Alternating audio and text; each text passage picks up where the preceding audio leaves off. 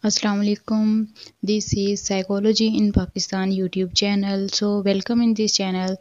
आज हम रिसर्च का जो टॉपिक है रिसर्च मेथडोलॉजी इन साइकोलॉजी ये स्टार्ट करने जा रहे हैं। तो रिसर्च में जो भी टॉपिक्स हैं रिसर्च से रिलेटेड वो सारे हम इस वीडियो सीरीज़ में डिस्कस करेंगे। तो सबसे पहले हम जो है रिसर्च मेथडोलॉजी या रिसर्च की डेफिनेशन पे आते हैं। रिसर्च का टॉपिक आज हम डिस्कस करते हैं।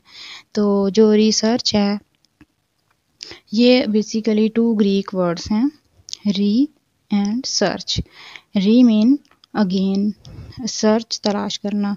अगेन किसी डाटा को जो है, वो आपने सर्च करना है। रिसर्च तो इसी तरह, जो आपके पास ऑलरेडी डाटा है, उस पर आपने सर्च करना है। सर्च की डेफिनेशन देख लेते हैं। Research is a systematic investigation to a new और एग्जिस्टिंग नॉलेज जो आपके पास पहले से नॉलेज है, उस पर आपने अगेन सर्च करनी है।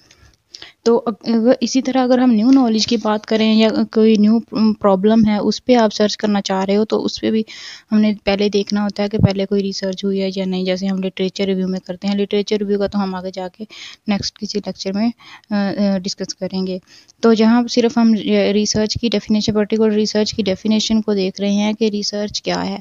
रिसर्च जो है, ये बेसिकली एक इन्वेस्टिगेशन है न्यू और एग्जिस्टिंग डाटा पे। रिसर्च की डेफिनेशन देख लेते हैं। Research is an intellectual activities research एक इंटेलेक्चुअल एक्टिविटी है, जो न्यू नॉलेज को फाइंड करती है और जो प्रीवियस एरर्स हैं या मिसकनसेप्शंस हैं, उनको ठीक करती है। और नेक्स्ट फिर आपको जो है वो एक न्यू नॉलेज आपके पहले वाले नॉलेज में ऐड करती है। तो ये रिसर्च की डेफिनेशन है।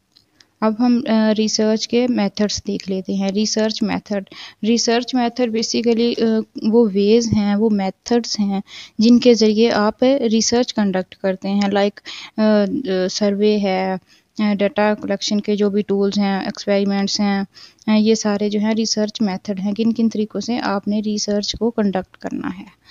सो so, नेक्स्ट uh, हम बात करते हैं रिसर्च ऑब्जेक्टिव्स की। फ़र्स्ट पे है to find out the hidden truth to find out the hidden truth वो ऐसे ट्रूथ जो अभी तक हिडन हैं, जिसको किसी ने भी अभी तक फाइंड नहीं किया डिस्कवर नहीं किया, वो आप फाइंड कर सकते हैं रिसर्च में। फ़र्स्ट ऑब्जेक्टिव ये। सेकंड है फर्दरिंग द डिस्कवर ट्रूथ पहले जो रिसर्चेज ने हमें रिजल्ट्स दे दिए हैं, जो रिसर्चेज ने पहले हमें फाइंड आउट करके दे दिया है, उसमें कुछ न्यू ऐड करना। आप रिसर्च करते हैं किसी टॉपिक पे तो आप पहले देखते हैं कि उसमें क्या क्या फाइंडिंग्स हुई हैं।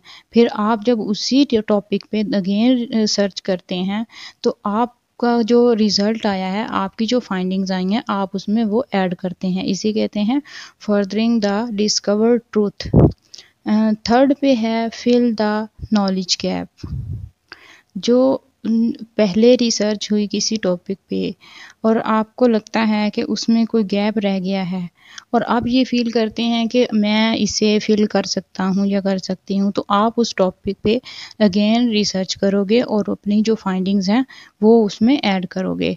तो ये बेसिक जो तीन ऑब्जेक्टिव्स हैं रिसर्च के, जहाँ तक कंप्लीट होते हैं। तो ये आज हमारा छोटा सा टॉपिक था रिसर्च की जो डेफिनेशन को हमने डिस्कस किया। नेक्स्ट वीडियो में हम जो है रिसर्च के स्टेप्स हैं रिसर्च कैसे कंडक्ट की जाती है और फिर रिसर्च के फर्दर जो आगे टॉपिक्स हैं, वो सारे डिस्कस करेंगे। Stay connected for more videos on research topic अल्लाह हाफिज़ बाय बाय